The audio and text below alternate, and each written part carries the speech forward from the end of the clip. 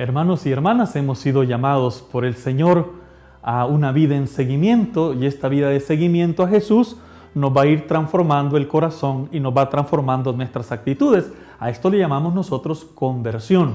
Y un elemento esencial para nuestra vida es aprender del Maestro, las actitudes del Maestro. Y aquí en San Juan, en el capítulo 13, en el versículo 13, nos va a decir algo muy precioso. Pero si yo, que soy maestro y señor, les he lavado los pies, también ustedes deben lavarse los pies unos a otros.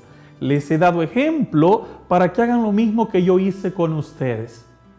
Si quieres ser seguidor de Jesús, si quieres ser su servidor o su servidora, tienes que saber que necesitamos siempre estar inclinándonos para lavar los pies. Y hay de pies a pies. Y comenzamos en casa. Lo propio del cristiano no son los títulos, los honores.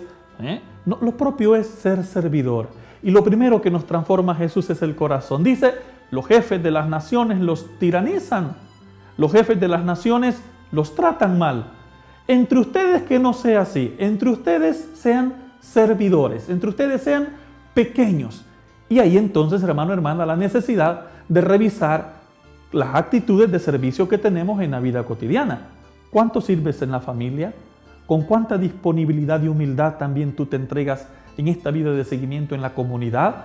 Pidámosle al Señor nos dé esta actitud para ser la impronta, para poner el toque de amor en lo, que, en lo que decimos y en lo que hacemos.